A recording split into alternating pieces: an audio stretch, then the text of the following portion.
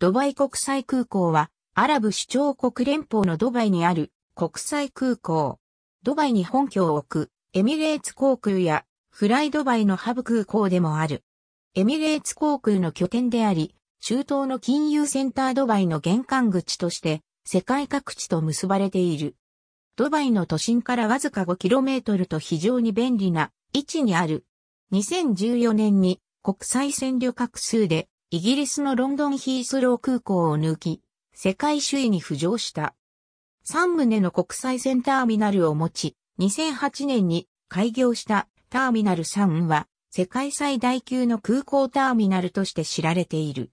年間9000万人の利用者数を誇る世界最大規模のハブ空港であり、シンガポールチャンギ国際空港と並ぶアジア、オセアニアとヨーロッパをつなぐ国際線乗り継ぎ拠点である。2010年、東空港の混雑を緩和すべく 40km 離れたところにあるマクトゥーム国際空港が開業した。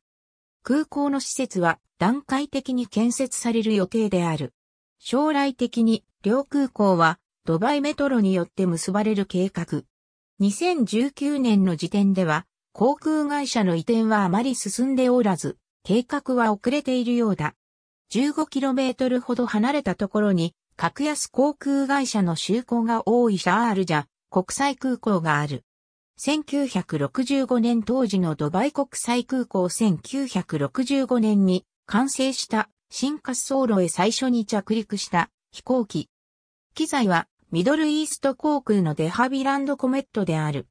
コンコース C コンコース B 内部ターミナル3、到着ホール2013年のドバイ国際空港、エミレーツ航空 A380 ターミナル1は、エミレーツ航空とカンタス航空以外のフルサービスキャリアが乗り入れる。ターミナルにはフライドドバイを中心にした格安、航空会社各社と中東アフリカ系の航空会社が乗り入れる。そして、ターミナル3は、エミレーツ航空とカンタス航空専用である。ターミナルには、滑走路を挟んで、ターミナル1、3の反対側にあり、無料シャトルバス等で結ばれている。ターミナル3とターミナル1には直結した搭乗口はなく、ターミナル3にはコンコース A、B、C、ターミナル1にはコンコース D と呼ばれる独立した搭乗棟があり、各ターミナルから電車や徒歩で移動する。コンコース A は A380 が20機中期でき、エミレーツ航空とカンタス航空が利用している。コンコース B と C はエミレーツ航空専用である。コンコース D はその他の航空会社用。イスラム教国家の空港のため、各ターミナルには祈祷室も設けられている点が特徴的である。